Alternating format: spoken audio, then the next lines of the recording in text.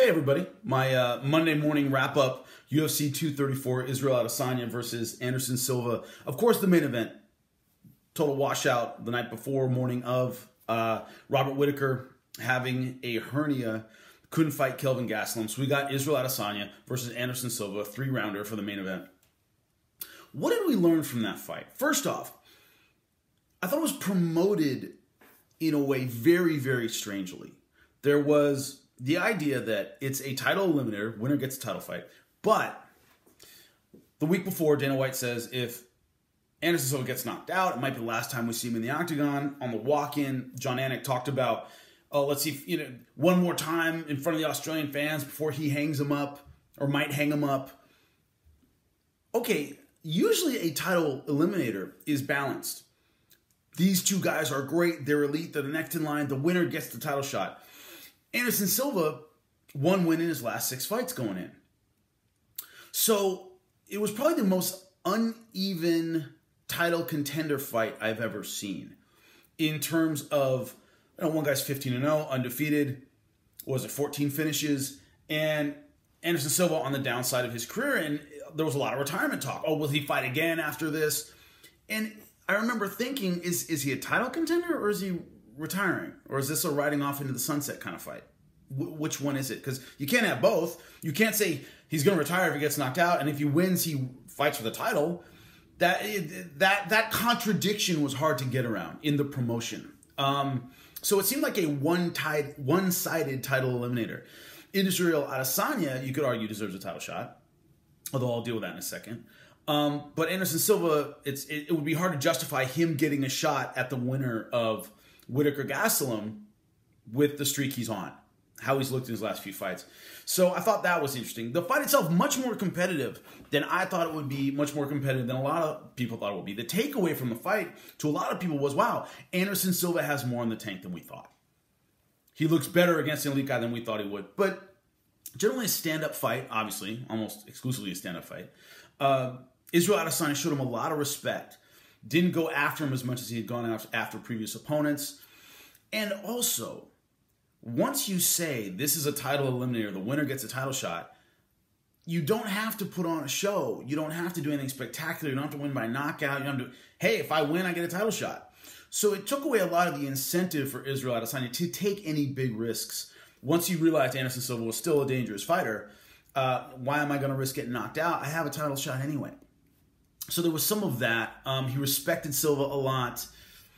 Uh, but when he was hitting with straight punches in the beginning, I was like, ah, it's going to be a long night. Because usually those single shots never worked against Anderson Silva. You had to throw combinations to get him. And I, Israel Adesanya throwing single shots was catching him. Then Anderson Silva uh, made some adjustments. And, and it was one of those fights where we saw flashes of the old Anderson Silva. There wasn't that sense. There was a sense of palpable danger whenever Anderson Silva fought in his prime. He could turn your lights off any one second. Boom, one counter shot and it's over.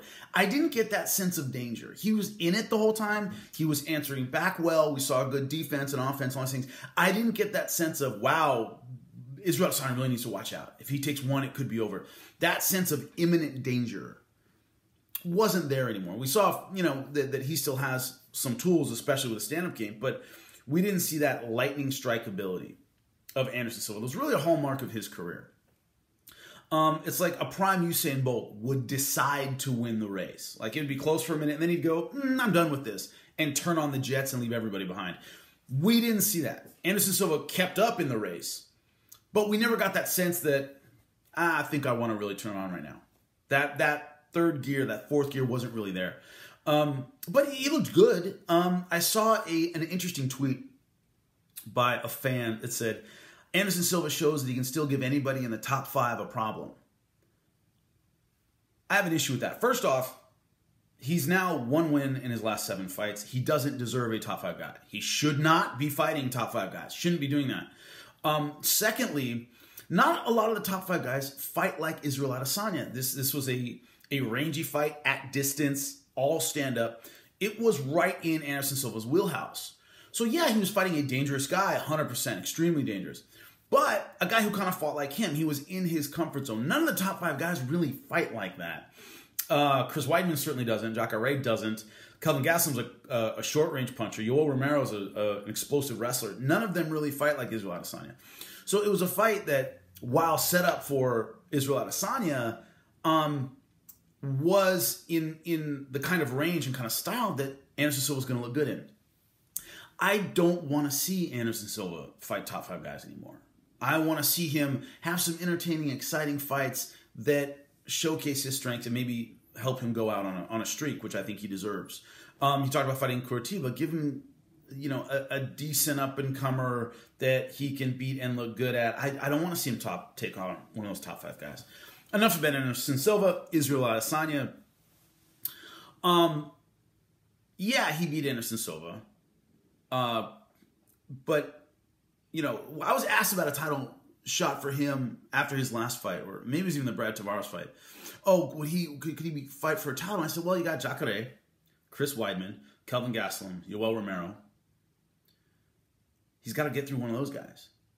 And I said that months ago. I said, yeah, he's got to get through. You know, we can get through one of those guys, sure. And now here he is, essentially knocking on the door of a title shot, and he hasn't gone through any of those guys. He hasn't beaten a top five middleweight. Has not. So there's still that question mark. Uh, we haven't really seen him pushed. We haven't really seen him under duress where things aren't going his way.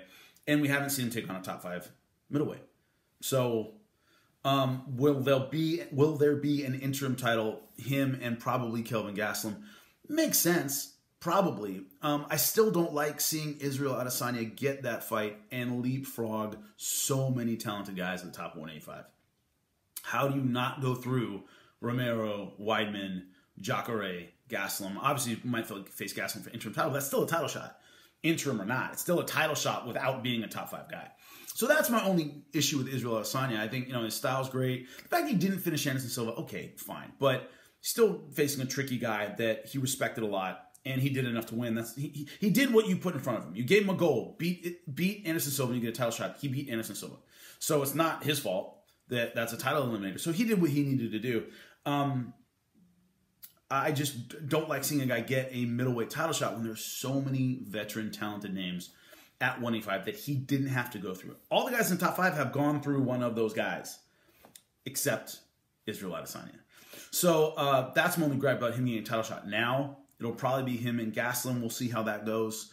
Um, but it's gonna be interesting from here on out. The takeaways were Anderson has more in the tank than we thought. Israel Adesanya is getting a middleweight title shot, but still a lot of unanswered questions. Let me know what you think. Subscribe to the YouTube channel and leave any comments below. Happy to answer any questions. Thanks, guys.